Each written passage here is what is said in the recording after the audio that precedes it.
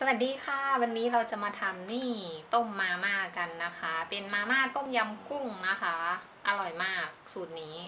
เดี๋ยวไปลองทำกันเลยค่ะ วันนี้ใช้เป็นมาม่าต้มยำนะคะ แล้วก็มีกุ้งสามตัวไข่หนึ่งฟอง ผักกวางตุ้งนะคะอันนี้สองต้น แล้วก็มีมะนาว เดี๋ยวเราไปทำกันเลยค่ะ ใส่กุ้งลงไปก่อนนะคะสามตัว แล้วก็ตามด้วยผักลงไปเลย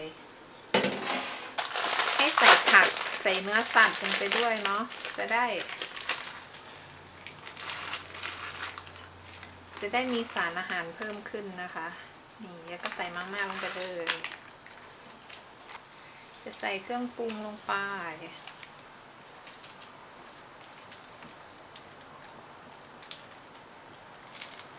แล้วก็ นี่เป็นน้ำมันเป็นน้ำพริกเผานะคะ ที่มาพร้อมกับซองมาม่า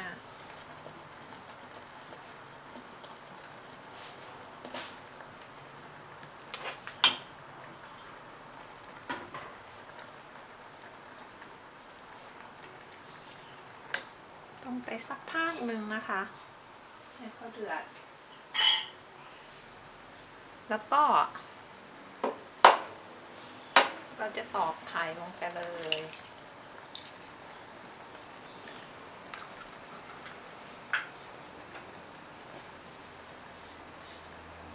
ใครต้องการที่ให้ไข่กระจายกระจายให้แบบเป็นน้ำข้นๆก็ตีไข่ให้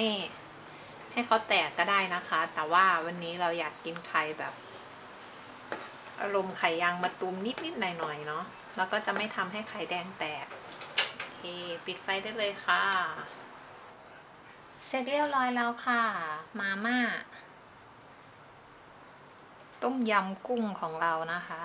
บีบมะนาวนิดหน่อย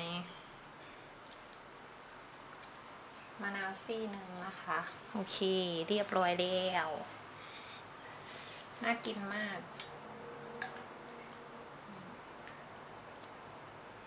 ชิมหน่อย อืม รสชาติจี๊ดจ๊าดกับมะนาวของเรามากเลยค่ะ แค่นี้แหละไม่ต้องปรุงเพิ่มอะไรแล้ว แค่มะนาวซีกเดียวนะคะ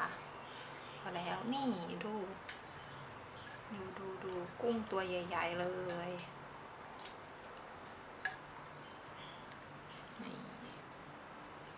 เสร็จเรียบร้อยแล้วค่ะวันนี้ขอตัวไปกินมาม่าก่อนนะคะ